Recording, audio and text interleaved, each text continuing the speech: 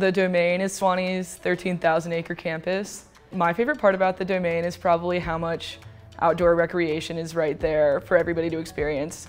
It's so easy to walk like straight from your class or straight from your, from your dorm to a trailhead, walk down the bluff, and then suddenly it feels like you're in a totally different world and you have like a 30 foot tall cliff on one side. Sewanee sits on the top of the Cumberland Plateau, like right on the edge.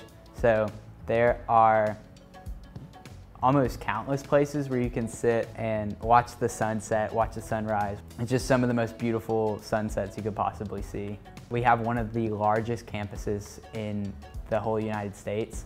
And because of that, if you have a natural sciences class, forestry, geology, you can go learn about the actual content by walking out with your professor to some crazy geological structure um, you can go do your tree identification tests on the domain, on campus, and that's the living laboratory. We have a couple lakes on campus, which is insane to be able to say. Fishing's pretty popular at Sewanee. I, I lived in a dorm that was right on Lake Trez, and I would wake up and look out my window and see three or four people fishing on the lake.